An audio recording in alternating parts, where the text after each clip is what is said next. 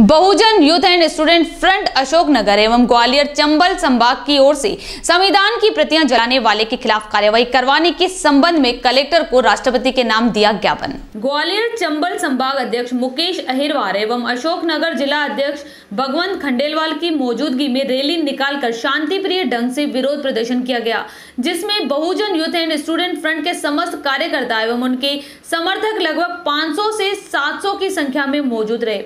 गौरतलब है कि दिल्ली में कुछ संविधान विरोधी लोगों के द्वारा एससी और एसटी एक्ट एवं संविधान विरोधी कार्यक्रम आयोजित कर खुलेआम संविधान जलाया गया था। गुना से प्रताप सिंह प्रभाकर की रिपोर्ट। राजधानी दिल्ली जंतर मंतर पर 9 अगस्त 2018 को संविधान की प्रतियाँ जलाने के विरोध में ज्ञापन प्रेषित किया गया महोदय, नंबर एक उपरोक्त विषय में निवेदन है कि 9 अगस्त 2018 को दिल्ली जंतर मंतर पर कुछ संविधान विरोधी लोगों ने, लोगों द्वारा एस सी एक्ट के विरोध में, आरक्षण के विरोध में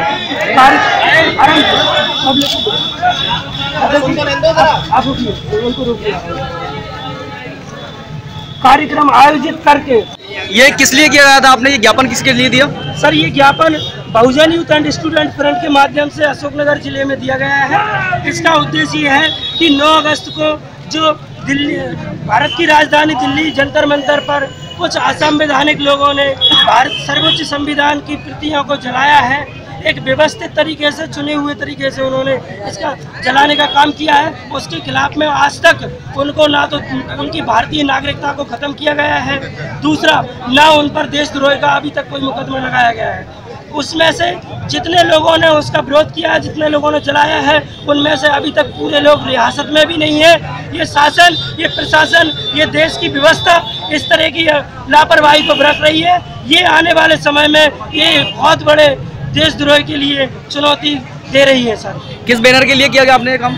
सर ये जो बैनर है हमारा Bahujan youth and student front के बैनर के तले हमने ये विरोध किया गया है डी मध्य प्रदेश। क्या नाम है आपका? सर मैं मुकेश अहिरवार अशोकनगर से।